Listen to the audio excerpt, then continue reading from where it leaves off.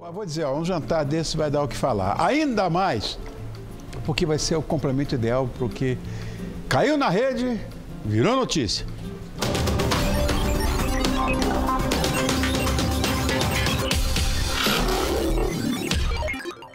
Hoje eu não vou enrolar, atrasar nem um minuto, porque o nosso papo vai ser muito legal. Eu vou apresentar quem fica comigo nessa missão uh, de se surpreender com o improvável dessas notícias que correm pelo mundo. Então, boa noite aos atores que fazem comédia, que é essa coisa mais difícil do mundo, fazer rir. E eles fazem parte de um dos shows mais incríveis do Brasil, que nós tanto veiculamos aqui, que é o Terça Insana. A Agnes Juliane e o Roberto Camargo. Oh. Obrigado, Agnes, por ter vindo, meu amor. Eu que agradeço. Poá, para mim, é provocação, viu? Tá bom, querido? Tudo Como é bem? Tá? Tudo bem, você? Ah, é? Ah, sim, adoro Poá. Ah, então tá bom. Adoro Poá. Obrigado, amor. Eu que agradeço. Bom, Agnes e Roberto, Isso. tem um novo projeto que reúne ah, atores que participam ou foram influenciados pelo Terça, né? Ah, nós, inclusive, temos imagens de vocês. Enquanto, enquanto a gente vê as imagens, eu quero que vocês contem mais pra gente. Roda, Tatá. Põe no grupo do WhatsApp quando a menina ficou mocinha. E olha que ela pediu o segredo. Toda família tem sempre um que é tolerante à corrupção, passa no sinal vermelho, mas é intolerante à lactose. fala, fala, conta. Não, essa personagem chama-se Suelma. E ela... Suelma. Suelma. Como é que você arrumou esse nome, né? Ah, isso foi sugestão da Grace, eu acho, que ela, a gente brincando e tal, e, e, tudo era assim, se não sou eu, se não sou eu, aí ela falou, se não sou eu, sou eu, eu falei, boa, é Suelma. essa. E é, uma, e é uma mulher que sabe exatamente, é, que não tem preconceito nenhum, mas que mostra para todo mundo que nós somos todos iguais, principalmente... É, em relação à família, porque todo mundo tem uma família igual, igual. E no meu caso, eu sou Elma, eu sou aquela que troca pneu, que busca é, parente no aeroporto, que abre é, vidro de palmito. Aliás, a sua, se não sou eu, sou Elma, a sua salada fica sem palmito. Dá uma então, rodada. A gente brinca com essas coisas. Tem mais uma pra gente ver. Vamos ver. Meninas, quando vocês forem saírem de casa, levem só o que vocês puderem carregar, tá? Porque essa mania de dar a bolsa pro namorado segurar causa situações muito constrangedoras. Uhum. Outro dia, por exemplo, eu vi um boss parado na porta do restaurante com uma bolsa escândalo, tá?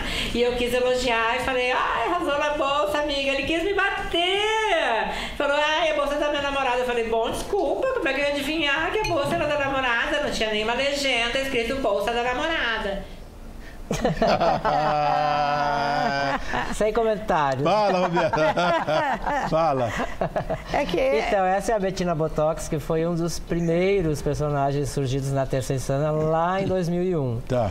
E quando a Grace pensou nesse projeto Arquivo Terça Insana, a gente foi buscar o que tinha lá nos primórdios.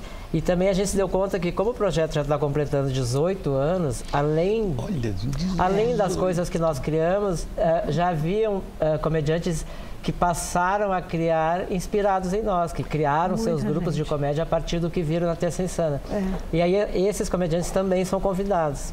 O arquivo faz uma mistura do Ai, que, que foi no começo, isso. com o que é hoje e com o que veio no embalo da Terça Insana. Roberto, nós começamos a veicular o Terça Insana aqui em 2004. Uau! Olha, quanto tempo, né? E eu, eu, ah, já tem isso tudo. Tem. É, é. Surgimos em 2001. Bárbara, tem 14 anos isso. Pois é. Vocês têm mais quase 18. gente, gente. Eu entrei ah, um pouco depois, ah, mas ainda estava no auge da Terça Insana. Porque tem... A Terça Insana, ela inaugurou um... um- vamos dizer, um tipo, um tipo de show de comédia que não existia no Brasil. ah, que é a comédia solo, em que as pessoas escrevem seu próprio material e tudo. Depois disso, começou a surgir ah, outros comediantes. Então se espalhou por tudo, mas a terça eh, principalmente o stand-up, né? Eu, por exemplo, eu sou. Tá queimando ali. Uau! Como é que a gente chama? Flambando. Flambando. Flambando. Flambando. Maçarico. É, com É, tô vendo dar uns maçarico. estalinhos assim Isso. e tudo. Mas assim, foi, foi ótimo. E outro dia eu fui dar uma entrevista também e eu conheci um, um ator chamado Gustavo Mendes, que é um ator que está tá sendo. faz tudo quanto é comédia. E aí eu me assustei, ele tem 29 anos, aí ele falou, você sabe que eu faço comédia porque eu aprendi com a terça insana. Então ele quis seguir o rumo da terça insana. Quando se discute se existe limite ou não no humor, isso e tudo, então ele se baseou um pouco na terça insana. Eu gosto muito do Gu. Ele, ele já esteve aqui, já É. esteve na minha casa. Jura? Foi lá de. Foi de Dilma. É? Ah, é o que faz a Dilma, É o ele é que faz a maravilhoso. Dilma, é. Ele foi de Dilma, lá em casa, com meus discos todos, dizendo que era apaixonado. Foi- ele é muito divertido. Ele é divertidíssimo. ele é eu nunca ótimo tinha ator. conhecido pessoalmente. É outro insano, né? Ele é. Agora, eu vou dizer, insano mesmo, são essas notícias que a gente normalmente traz eh, e a gente sempre tenta comentar porque são absolutamente verdadeiras. Eu tenho aqui, inclusive, a- as fontes, eh, essa, eh, que foram selecionadas pela nossa produção, né? São do, do Extra, da Globo, e da BBC. Uau! São as notícias mais bizarras, que são verdadeiras. Confiáveis. Claro. São as, E, as bom, piadas prontas que É. o Simão fala. Bom, eu leio BBC? e vocês comentam, naturalmente, Ok. com um humor que não precisa ser o londrino. Né? Pois é. Presta atenção nesse primeiro. Gente, China, tá aqui, ó, não é mentira. China quer proibir shows de strippers em enterros. Tem um enterro ali, uma stripper ali, tá vendo? O Ministério da Cultura da China decidiu combater a apresentação de strippers em enterros no interior do país. Famílias em zonas rurais apelam a strippers a fim de aumentar o número de presentes no enterro de entes queridos. Então, funerais cheios ajudam o espírito do falecido, segundo a crença local. Mas o governo da China classifica as apresentações como atos de decadência moral e cultural. Eu acho que é trágico, ah, cômico, mas já pensaram num, num show desse, no enterro de alguém aqui no Brasil? Ah, mas agora tá pegando essa coisa de depois do enterro vai todo mundo jantar. Não vai? Isso- isso- é, as pessoas vão jantar, eles recebem para ficar do Eu lado acho que do... aqui a comida ainda é mais atraente. Por aqui a comida. É, mas lá eles estão eles estão dando a sobremesa primeiro. Aqui, Não é? Ah, Eles apresentam um cardápio. ah, ai, tá certo, Agnes. Acho que pode ser isso. Só- né? Só pode ser. Tem um... Ai, meu Deus. Tem um outro aqui. Fã número um. O policial aposentado que tem a maior coleção de Hello Kitty do mundo. O policial ap- aposentado é um japonês chamado Maseo Gundi. É apaixonado pela Hello Kitty. Olha o que ele tem ali de Hello Kitty. Uau. Ele tem a maior coleção oficial do mundo. São mais de 5 mil itens, somando mais de 820 mil reais em sua coleção. O Gunji conta que a personagem teve um papel importante nos seus anos de polícia, na época em que ele estava sob constante pressão. Ficava relaxado ao olhar para os olhos e o rosto da Hello Kitty. Eu vou dizer, é para ter medo de um policial desse ou ele está mais para policial meiguinho? Ele deve ter algum tipo de trauma, como a ex-mulher que falava muito, porque a Hello Kitty não tem boca, né? É, É verdade. Boa, Alberto. Pegou. Se você tivesse ter uma coleção, qual seria, Agnes? Não, eu coleciono. Eu coleciono inimigos. Porque a gente perde o amigo, mas não perde Não a a piada. piada, não lógico. é? Então, eu Eu que não posso falar nada porque eu sou praticamente um acumulador. Eu tenho coleção de quase, assim, de muita coisa. Agendas. Ele coleciona Eu cole- agendas. coleciono as minhas agendas. Eu tenho coleção de pato, de borracha, aqueles patinhos de banheira. sei, sei. Eu tenho coleções da minha infância, como a minha coleção de carteira de cigarro. Ah, não, essa, essa era uma coleção que todos nós, na minha geração, fazíamos, né? De carteira de cigarro, fósforo de propaganda, nós fazíamos também. Carteira de Olha. cigarro, é, a gente guardava. Eu tinha álbum, inclusive. Ah. Não sei se você chega a ter álbum. Tem álbum de, de carteira não, de cigarro? eu tenho não? todas as dobradinhas guardadas. Ah, tá. Mas tenho de dinheiro. Dinheiros esse- antigos. Essa é uma boa coleção. Não, É. aí numismática não, isso já é sério, né?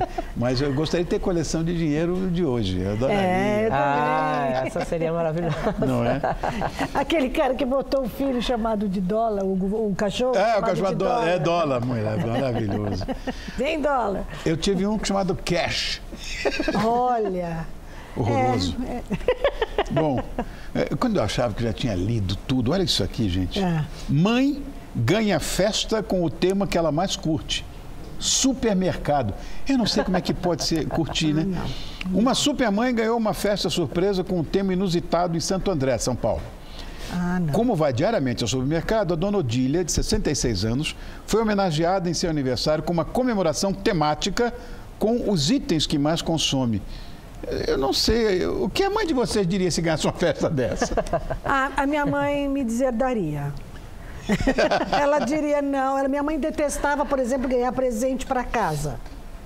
Tem muita gente que dá presente, pra casa. coisa. pra- Ela fala, eu não sou dona da casa, eu sou professora. Ai, então ela queria sempre alguma coisa para ela, porque ela para casa, eu não preciso de nada para minha casa. Então ela não, acho que ela me deserdaria. Tadinha. Não, eu sei, mamãe, não tem tá tudo É, a minha mãe ia detestar, eu acho. Ela ia dizer, ah, não, coisa que eu vejo todo dia, que eu compro todo dia, que eu faço todo dia, eu não quero. Quero uma coisa diferente. Olha, eu eu não sei se vocês já foram a, a festas temáticas. Eu não suporto festa, nenhuma festa. E, mas outro dia eu li uma coisa que eu achei muito interessante. Um casal que adora ir à loja de material de construção. Ô, louco. É, é, Vão para a loja de material de construção. É o grande hobby. Mas faz a festa lá, não? Faz a festa lá. Uau! Material de construção. Gente. Eu tenho uma amiga que é louca pelo Bob Esponja.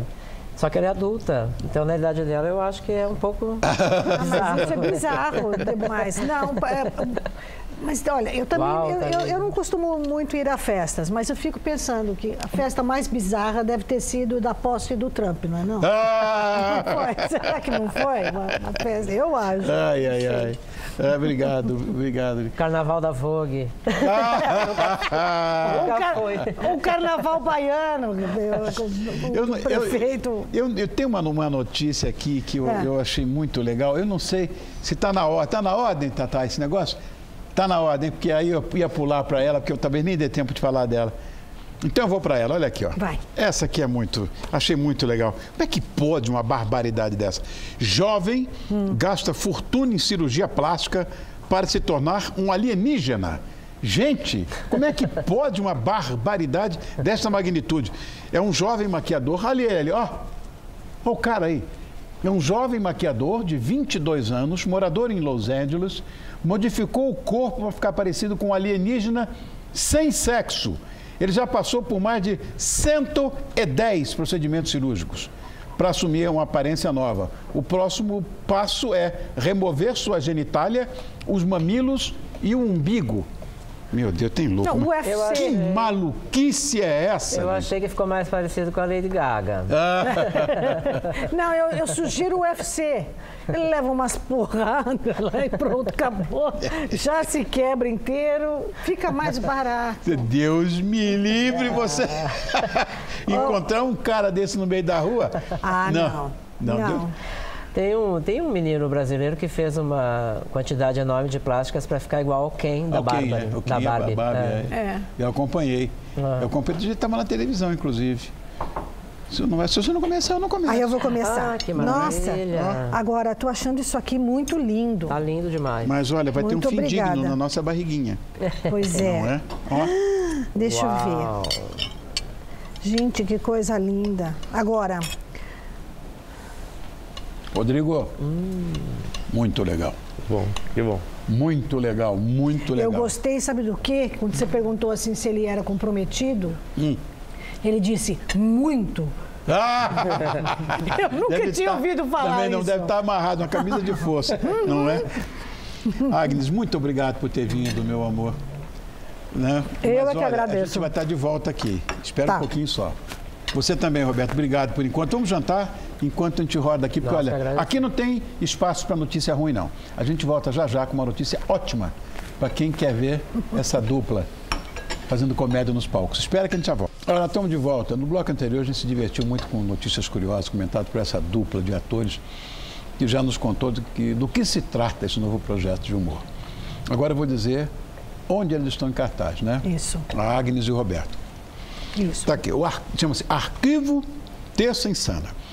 Está aqui no Teatro Itália. Exato. Ah, mas uma coisa, olha, meu Deus do céu. Pertinho, fácil, central. Ah, imagina. Avenida Perto do Ah, metrô. Vou dar endereço de, de- de- do, do Terraço Itália para você, do fosse Teatro preciso. Itália, não vou. Mas fica na Avenida Ipiranga 344, no edifício de mesmo nome. Isso. Edifício Itália. E ali, ali é o Metrô República, né? Metrô República. Olha a moleza. O ali do teatro lado. fica no subsolo, né? Fica. Subsolo do edifício Itália. Bom, Está reformadinho, está ótimo o teatro. Todo bonitinho. bom, eu, eu sei que o teatro é sensacional. E é uma referência aqui em São Paulo. É. Horários. Sempre às 21 horas, às terças-feiras. A gente já está combinado de estar lá até maio, até fim de maio Até a o gente está final de chegando. maio, toda terça às 21 horas. Tá. Uma- Essa é uma terça com saúde, hein? É. Não insano, não. Não é insano. Então, obrigado mais uma vez. Olha, A gente gente que agradece. Ah, pelo amor de Deus. Prazer. Obrigado, obrigado, Delícia. Agnes. Como é difícil fazer rir, Roberto. É, vocês né? me fizeram rir É. hoje bastante, viu, Agnes? Ai, que bom. Que bom, a gente tenta, né? Obrigado, é sempre amor que acerta. Ah, acerta sempre, imagina.